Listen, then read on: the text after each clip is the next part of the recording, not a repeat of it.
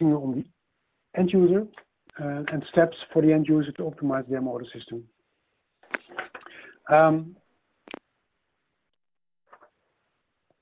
for the end user, we have the following system improvements. Uh, an end user has to focus on the different elements of the motor system, meaning the motor, the VFD or the load control, transmission, the application itself, and last but not least, system integration, integrating those components into an efficient system.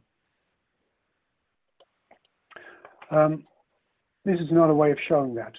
We have here the, the motor system, as shown before, and for each component we have different measures, starting with a motor, uh, uh, applicating uh, a more efficient version, a more efficient uh, um, motor, IE3 or IE4 is the first step. Then for the control, uh, making sure that uh, you use, for instance, a control uh, meeting the demands or, or VFD. Um, the mechanical equipment, make sure when there's uh, when you have a pump system or fan system that uh, there's no throttle in place uh, and that the transmission is efficient, efficient components. For the pump, for the application, make sure you use the best available technology. Last but not least, this is in fact the starting point for your uh, optimization analysis is what exactly is the demand, energy demand. Uh, what is the, the, flow rate which is necessary to meet the process demands. With this um, optimization steps, you will get to the best solution. Uh, one important thing to notice, motor replacement alone is not the issue. Then you only will reach small savings. An example for load control.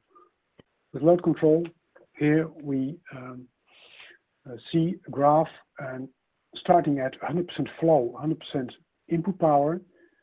Uh, at this point, uh, when you want to lower the flow rate 50 to 50%, at this point, you using a throttle, you end up here at 80% of your input power. Instead of using a throttle, using a VFD, you will follow this line, the system uh, uh, characteristic, and you end up here. 50% uh, flow and 20% input power. So you save 60% of energy by applicating a VFD instead of a throttle. That's the main thing. So for systems, pump systems, fan systems, applicating a VFD is very worthwhile when you want to uh, adjust the demand. Here are the steps for the analysis of a motor system.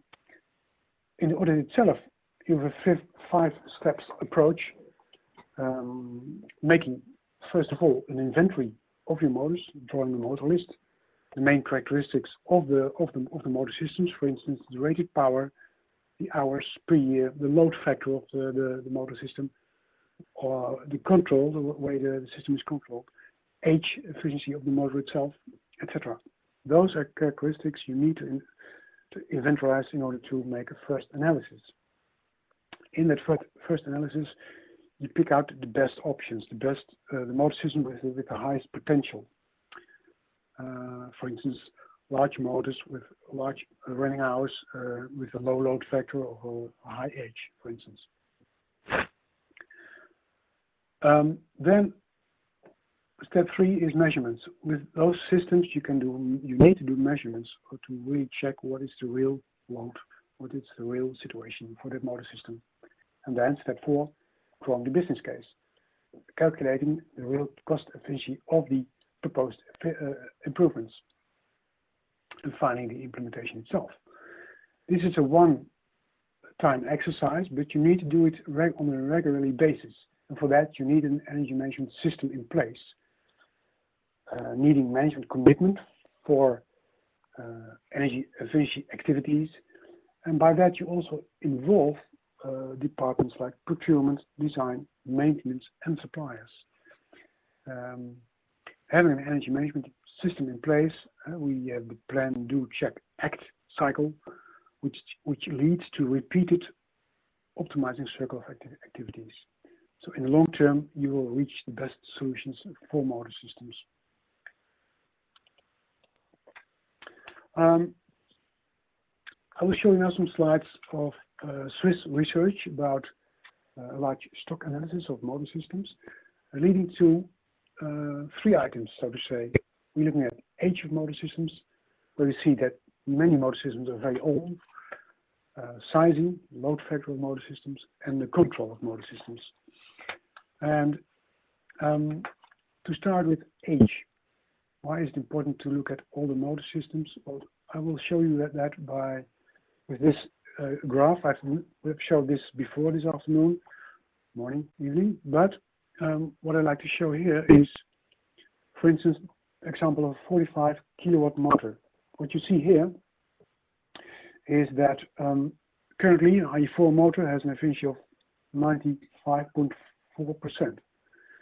Um, and uh, but having in place an older motor, for instance an IE1 or the old European classification F3, F4, um, this efficiency is much lower. Uh, for instance, an, uh, an F3 motor, which dates back to 1990, uh, compared to a currently an IE3 motor, uh, makes that um, we have um, an uh, F3 and IE3, we have a 4.2% difference in efficiency. So replacing a 25-year-old motor gives you easy uh, extra efficiency. That's one, side, one part of the story. Secondly, uh, a 25-year-old motor needs have had uh, has had some maintenance, maybe some revision, some rewinding, and with that rewinding revision, efficiency normally drops again some some points of, of efficiency. It's a total uh, difference between an old motor and a new efficient motor is larger than shown here. That's the main message here. This is example of this Swiss research. This is research research between of, of uh, 4,142 motors, um, and the age of those motors is plotted in this uh, graph.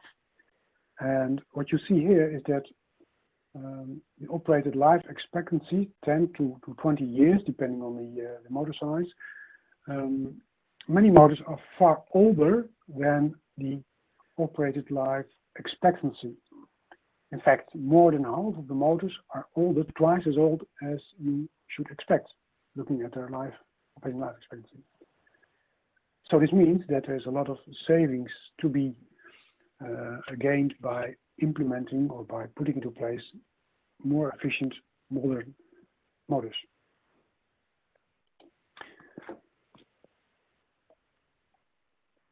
Then, looking into the way those motors are uh, controlled. Again, we look at those um, 4,142 motors, and what we see here is that um, only 20% do have a frequency uh, uh, control, or a frequency control, and um, that uh, most of them, uh, or uh, let's say more than 50, about 50% is smaller than 5 kilowatt.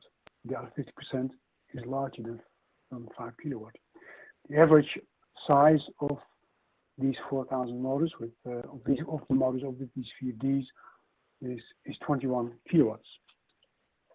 So 20% has a has a VFD, it doesn't mean that 100% should have a VFD, but maybe there's a potential for up to 30 to 40% of those motors which, which could benefit from a VFD. Then we have the load factor as a the, here, the, this, this graph is a result of actual measurements of those motors. Uh, in total, 104 motors are measured. And there we see that 68% have an average load factor below 60%. So more than two-thirds of the motors have a load factor below 60%, meaning that they probably are oversized. Okay, I have to go on looking at the time. The last section of this webinar will be on some successful programs, some tools, and also some further information.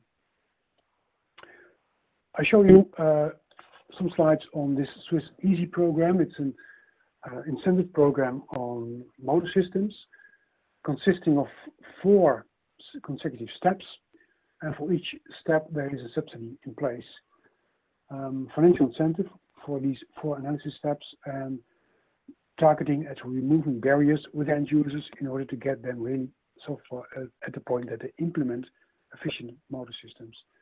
Subsidy adds up at least to the cost of the uh, uh, analysis in doing the, uh, I must say, the subsidy adds up to the cost for the analysis itself. These uh, are the four steps, this, uh, tools to really um, execute those steps. Um, first, in the right upper corner, we see this is for the quick the quick scan. If, what is the potential within the specific company for motor systems?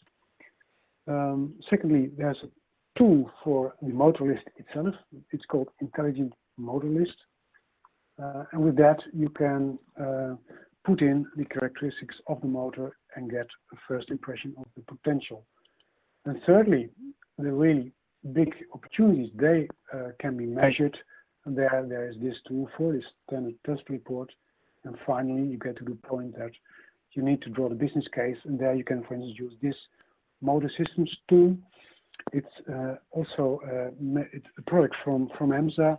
And we have a separate webinar on these motor systems tool later on next week.